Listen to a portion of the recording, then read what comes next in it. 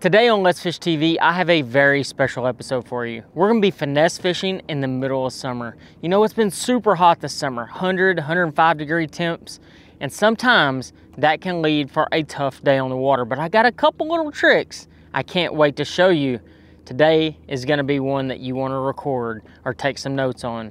Let's Fish TV is on the air right now. Oh, God, oh my gosh. Oh, check that out. It's time for the only program that brings you real-time fishing reports from the Southwest region every week. Cobia Big one. and a monster. Look at Beautiful. that. That's a Tawakoni giant. This is Let's Fish. Welcome to Let's Fish TV. I'm your host, Andrew Upshaw. Today, we are on Toledo Bend, but it's not necessarily where we're at, but what we are doing. It is the middle of summer, 100 to 105 degree temps in the middle of the day. Fishing is pretty tough right now. I'm gonna show you how to finesse these fish and still catch a big bag of bass. We'll also have this week's fishing report from your local region from our insider reporters. In the meantime, I'm gonna get this Bass Cat Mercury launch, get everything set up. We'll toss it back to studio for your weekend planner. Hi everybody, these Solunar tables are showing good fishing conditions both days this weekend. Peak morning activity will start at 4.56 on Saturday and 5.32 early Sunday morning. Prime daytime action picks up around 5.21 on Saturday and 5.57 late Sunday afternoon. Depending on your local area, expect the sun to rise around 6.28 and set around 8.40. Evenings will feature a moon that is 68% visible. Make sure to stay right here to check out all of the current fishing reports from throughout the area. Plus, I'll return with Bassmaster Elite Angler Bradley Hallman to answer this week's Ask the Pro question. All right, guys, today's episode is gonna be really special. I'm gonna take you out on the lake and I'm gonna show you how to catch summertime bass when there's a high pressure system. You know, it's a calmer day today, middle of the summer, the fish have been out there for quite some time. And you know, sometimes that makes fishing kind of difficult. But today I'm gonna break you down a couple of my favorite finesse fishing tactics to catch summertime bass. Today's episode, you're not gonna wanna miss. I'm gonna get out there and see what we can do.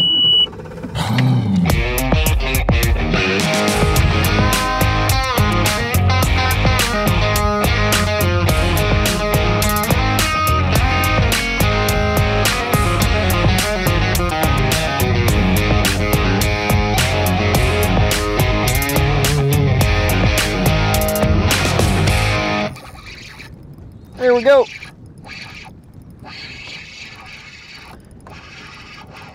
Oh, that's a good one. Oh, man, when he thumped it, I knew right then and there that was going to be a pretty good bass. He is too. Man, oh man. It's nothing like finesse fishing in the summertime. Er, Ooh, here we go. Check that out, guys. Nice bass on a drop shot.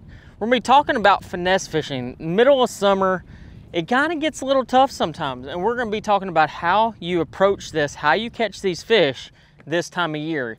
The fishing's starting to heat up, the sun's starting to heat up. I think we're supposed to have 100 to 105 degree temps today, but we're gonna show you how to catch these nice bass. Let's get this fish back real quick, and we'll talk a little bit about how to finesse fish and what exactly we're doing today on today's episode. So, you know, we're out here today to teach you something. I, I really wanted to make today's episode just about teaching. I, I wanted it to be about midsummer, hottest days of the year. I mean, we're literally dealing right now in Texas, Louisiana with 100, 102, 103 degree temperatures. And it makes for pretty tough fishing sometimes. And that's when finesse fishing rigs come into play. Now, could you come out here and crank? Yes. Could you come out here and throw a big worm? Absolutely. And catch some bass.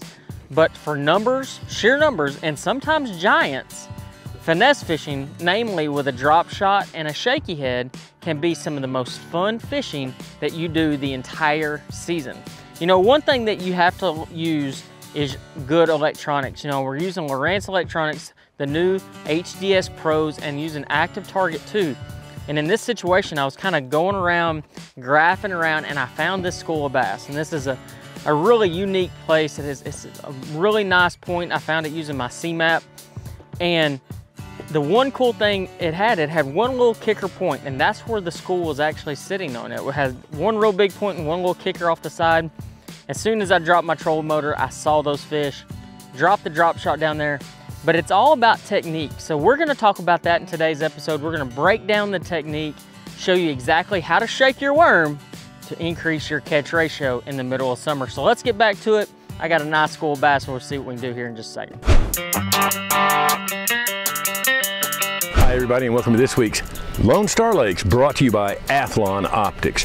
Premier Optics, an affordable price, and a lifetime warranty. What more could a person ask for?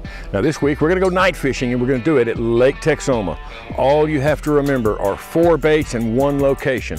The bluffs along the Eisenhower Bank, both sides of the state park, is where you're going to fish. What are you going to fish?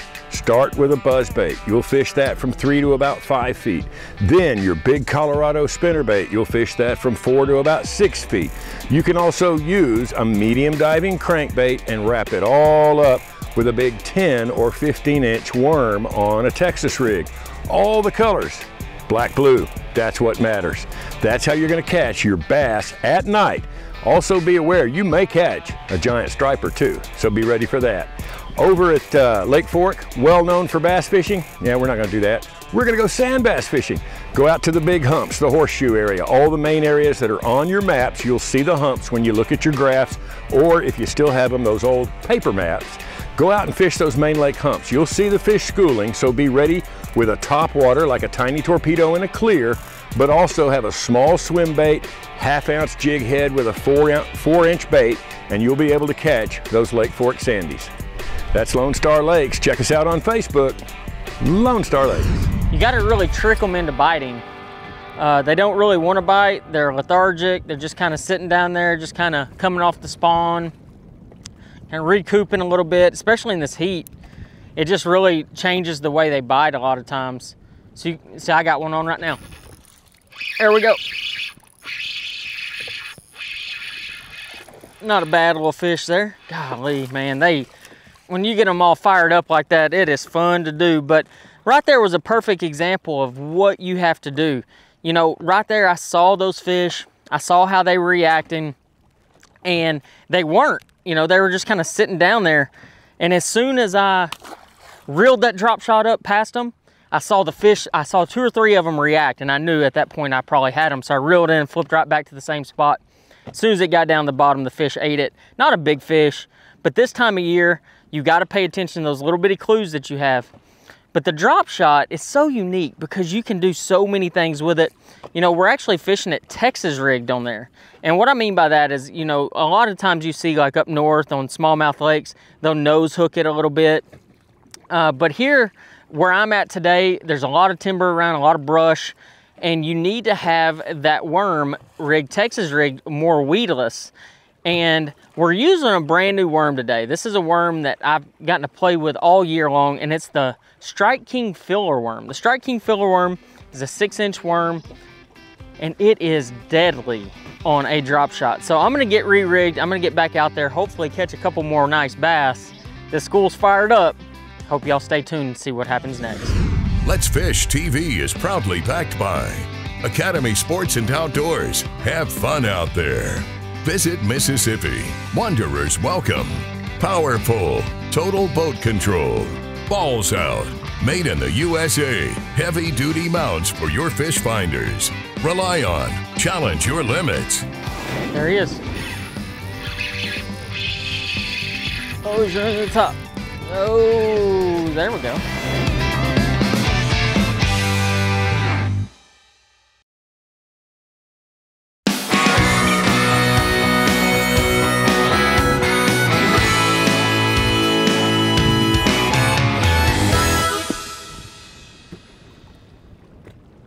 Is. Oh, he's running to the top. Oh, there we go. Golly, they, man, acting like a dang smallmouth, jumping around like that. There we go. Another nice bass on the drop shot. I picked up the shaky head trying to see if they were more on the bottom, but it really seems like they want that drop shot today. Another nice bass. You know, let's talk about this drop shot though. This thing is pretty unique. You know, today we're we're finesse fishing midsummer bass. And this is the actual filler worm. This is a brand new worm uh, from Strike King. It comes in a ton of different colors. But you know, today I'm keeping it pretty basic. I'm throwing red bug, and that is just the mainstay in my boat this time of year. You know, whether it be morning dawn, red bug, June bug, I keep it pretty basic. But red bug this time of year, out deep, summertime ledges, always tends to work. But let's rig this thing up. You know, this one just got used, so it's not a fresh one, but I'm gonna show you how to rig this thing. So basically you take this worm just like this. I'm gonna bite a little bit off the head. You go in using a straight shank hook. This is just an owner one-aught cover shot hook. And you rig it just like that. So this is the weedless version of the drop shot, quarter ounce weight. And this is what's gonna surprise most of you is this is actually 15 pound line. This isn't light line. This isn't 8, 10, something like that. 15 pound test. And some people are gonna be like, well, why wouldn't you just throw it on a bait casting rod? Or why would you even throw a drop shot if you're throwing 15? But in the reality is, when you are drop shotting around heavy cover, yes, you will get more bites on lighter line. That is 100% proven fact. If I went to eight pounds, six pounds, something like that, I would 100% get more bites. But your land catch to land ratio, especially in this deep timber, will reduce dramatically. And one thing I've learned through the history of fishing timber locations like this one, if you fish around that timber, you're gonna break off if you use light line, especially if you hook that fish of a lifetime. And, and there's a lot of really great places like this, you know, whether it be Sam Rayburn, Toledo Bend, Lake Fork, uh, just to name a few in Texas, where you have that chance to hook a giant. So you don't want to be out here fishing for fish, you know, for bass and, and hook that fish of a lifetime with a six pound test around timber. You will lose that fight almost every single time. So upsize that line. I'm going from braid to fluorocarbon, 10 pound braid still, but that 15 pound uh, contra fluorocarbon is the line of choice in this situation. But get you some of these filler worms, guys. I'm telling you, they're softer. They're going to tear up a little bit easier than maybe some of the more traditional finesse worms that you've used. But I'm telling you right now, your hookup ratio is through the roof with that softer worm. And it just it just dances out there. It dances out there, guys, and it catches those bass. So I'm to get back out there and see if I can catch another one. Hey friends, Captain Kevin Broussard here with this week's Let's Fish Outdoor Report. Tell you what, sorry y'all missed me last week. I got tied up and I couldn't do the report. But we're in the basically the dog days of summer right now. We're gonna talk both fresh and saltwater. Saltwater scene, early and late seems to be the best. I'll tell you what, if you know where some lights are at night right now, lots of trout and some redfish getting caught under the lights. Other than that, I suggest fishing early and late, super hot, uh, live shrimp under a popping cork, two to three feet for your trout, deeper reefs for sure. Trout are on the ledges of the channel. Some redfish at the Gulf jetties when the water's clear enough. There are some redfish in the marsh, but I'll tell you what, they're getting really hard to catch because it's just getting so hot. It's that time of the year. Offshore fishing, right now out of Venice, I've seen a couple good reports. Still a few tuna getting caught. Lots of boats though, from Calcasieu all the way down there, they're going out catching snapper. Remember, snapper season's open. Check your limits, your daily possession per person, everything, and go get in on some of that action when the weather allows on the freshwater side of things, pretty much same story. It's, you know, nighttime if you're bass fishing, all your bigger lakes, Toledo Bend, Caddo, Vernon, Caney Lake, fish your deeper points, your humps, your ridges, big worms, work them slow on the bottom. They're catching lots of good bass.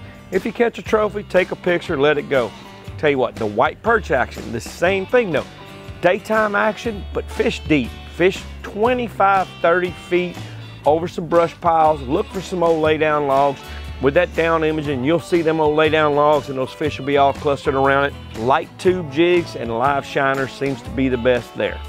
For old Cajun Phil, this is Captain Kevin Broussard saying, let's fish.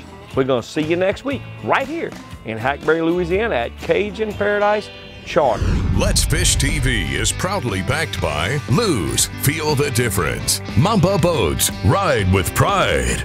Strike King, Taiwan On. Fishing Specialties, makers of the premier mount assembly for live sonar.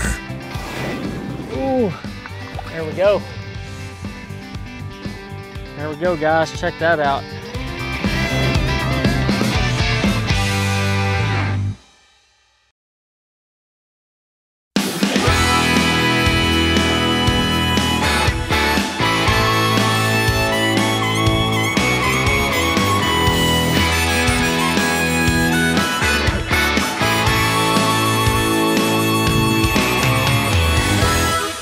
Oh, that's a good one.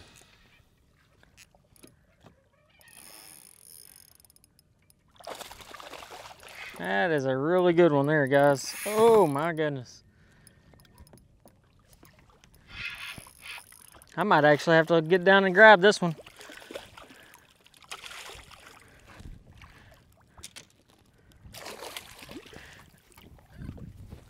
Ooh, there we go. There we go, guys. Check that out. Holy cow. That's a nice one there. God, I had him stuck good too. Man, oh man. There we go. Man, what a nice bass. Told you we'd catch us a good one today. That's a that's a dang good one right there. On the drop shot. Just goes to show you, you just gotta just keep kind of rotating through some of these places. I mean, that's a good solid, almost five pounder, four and a half, four and three quarter pounder. Using that filler worm. My goodness, let's get this fish back. One of the most important things is to pay attention. You know, just because you've caught them in a place before, doesn't mean that's where the fish are always gonna be. And that's where your electronics really come into play. You know, in this particular place where I'm fishing, I've caught fish in and around this general area for years.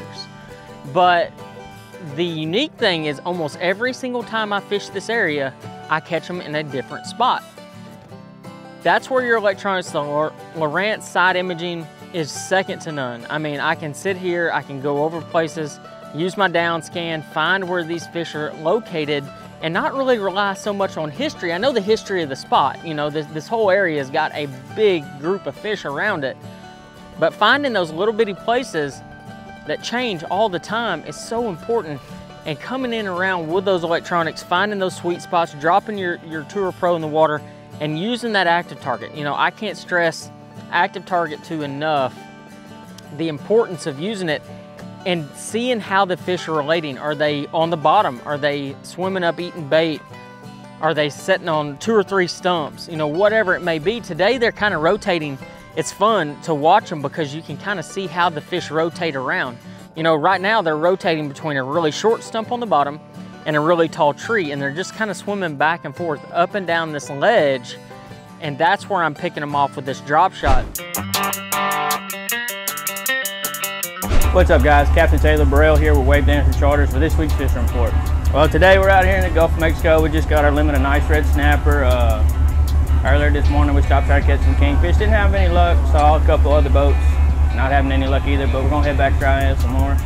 Um, here a few days ago, the kingfishing was really good. We caught a few cobias as well. A few mahis been showing up offshore. Uh, now inshore, speckled trout fishing's been getting a little bit better once the winds calm down some and the water clarity's coming back. Uh, a bunch of big sharks, big hammerheads. Uh, three tigers were caught, so caught this week at the jetties. Uh, but that's all I have for this week.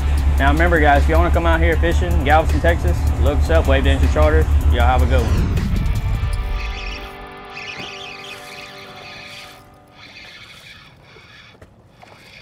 Oh, there we go. Oh, it's a, I think it's a big spotted bass. That's a largemouth. There we go. There we go, guys. And that is how you catch finesse fish in the middle of summer right there. What a good bass that is. Pulled up to this spot, graphed it, saw a couple nice ones, caught a good one. But today, what we really have focused on is finesse fishing in the middle of summer. You know, a lot of times we get so caught up on throwing big baits, whether it's a big jig, a big shaky head, Carolina rigs, big crankbaits, all those things. But uh, more times than not, especially in the middle of summer, you have to downsize, you have to change your bait up, change your presentation, and this will help you put more fish in the boat. You know, I've gone over today a bunch of different things, whether it be your retrieve, uh, the baits that you need to use, things like that. But it's so, so important to find the right rod whenever you're out there fishing a drop shot. And today I'm using a 610. This is a medium, extra fast, Lew's Signature Series rod. This is the rod I use when I'm Texas rigging my drop shot. And it's really important to have that right rod and a good reel. This is a custom light. This is a brand new reel by Lew's. But overall, today has been a lot of fun. We've caught a lot of good fish and hopefully proven to you that it is so possible to go out on these big bass fisheries and catch them finesse fishing, throwing drop shots, throwing shaky heads. Middle of summer, don't be afraid to pick up that spinning rod, catch you some extra bass. I mean, today we've probably had 17, around 17 pounds. It's been a really good day. It's starting to get hot though, guys, and I think I'm gonna start heading in here in just a minute, but we'll catch you here in just a minute. We'll talk about exactly what we did today and how we caught them finesse fishing in the middle of summer. Watch our latest episode or catch up on past episodes on our website at letsfishtv.com. Be sure to hit the subscribe button on our YouTube channel, like us on Facebook, and follow us on Twitter for new fishing videos every day. And download the free Waypoint TV app to get all the latest episodes every week on your phone, tablet, computer, or smart TV.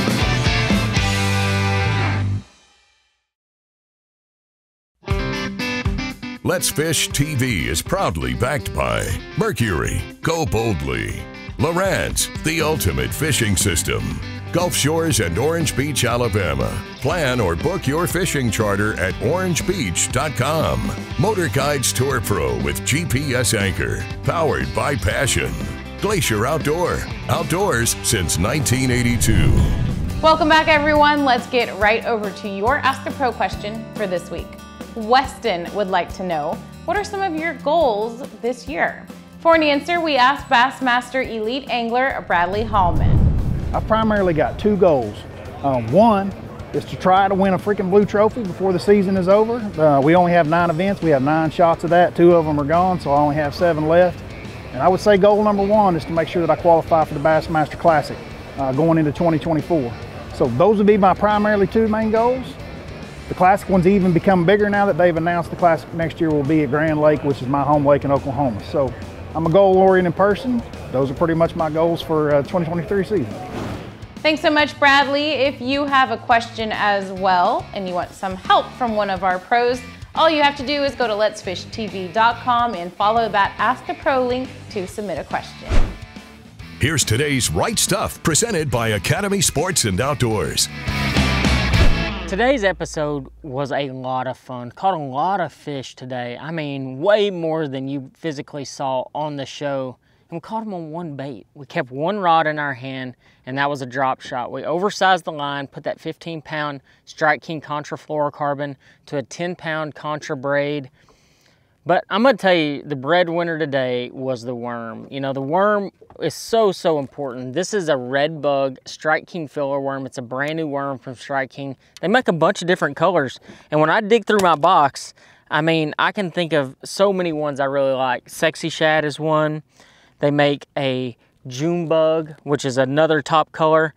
And they make the ever popular Morning Dawn. You know, when it comes to colors, I keep a couple of different options just in case, but when I'm fishing deep summertime and the water's off stained a little bit, that's when I'm going to red bug. The cleaner the water, the more natural, whether it be the Morning Dawn or even Magic, which is another color with like a, a watermelon brown bottom.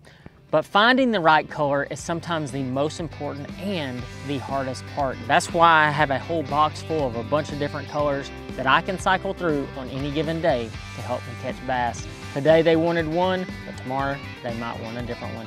Guys, I hope you learned how to find and catch them in the middle of summer, these 105 degree days. And until next time, I'll see you on the water.